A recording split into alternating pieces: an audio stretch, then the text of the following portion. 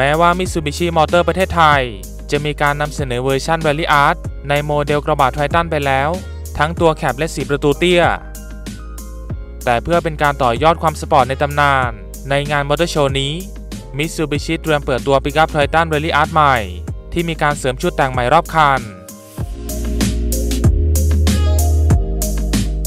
Mitsubishi Triton Ralliart ใหม่ เป็นการใช้พื้นฐานมาจากสีประตูเตี้ย ซึ่งเป็นเกรดเดียวกันกับ Rally Art เวอร์ชันแรก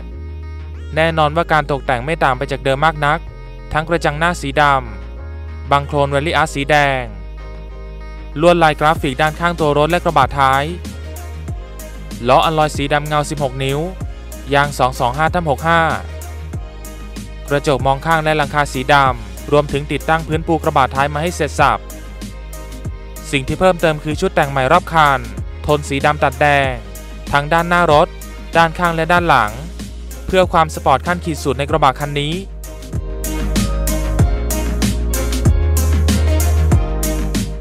ส่วนขุมพลังต้องติดตามว่าจะมีการปรับหรือไม่ หากอ้างอิงจากเวอร์ชัน Ralliart ปัจจุบัน จะเป็นดีเซลขนาด 2,500 ซีซีเทอร์โบ ให้กำลัง 128 แรงม้า ที่ 4,000 รอบต่อนาที แรงบิด 240 นิวตันเมตร ที่ 1,500 ถึง 3,500 รอบต่อนาที จับคู่เกียร์ธรรมดา 5 สปีด และขับเคลื่อน 2 ล้อ ติดตามการเผยโฉมตัวจริงในไทย ที่งานมอเตอร์โชว์